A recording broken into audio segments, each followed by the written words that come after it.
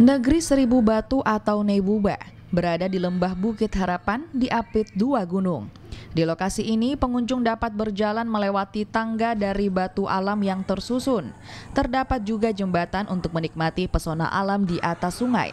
Bagi pengunjung yang ingin beristirahat, dapat menempati gazebo yang disiapkan pengelola atau bersantai di sisi sungai sambil duduk di ayunan seribu batu.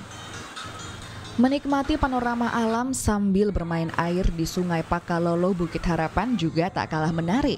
Selain jembatan cinta, juga ada taman sakura untuk bersuah foto serta jalan mantan.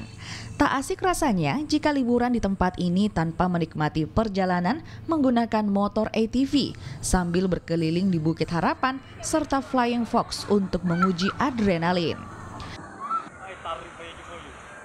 Tadi sempat keliling Bu ya? Oh iya sudah. Uh, di tempat-tempat spot foto mana saja Bu tadi? Oh sudah di sini di vilanya, ada di tenda sini. Tadi saya mau naik, naik itu lagi. Uh, tangga-tangga ya? Flying Fox. Flying Fox ya. Iya, nanti mau mau naik ATV lagi.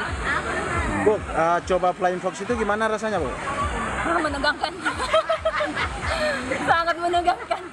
Di negeri Seribu Batu, pengunjung bebas membawa bekal atau mencoba menu khas lokal seperti ikan lawa, udang rebus, dan ikan bakar yang dijual pengelola.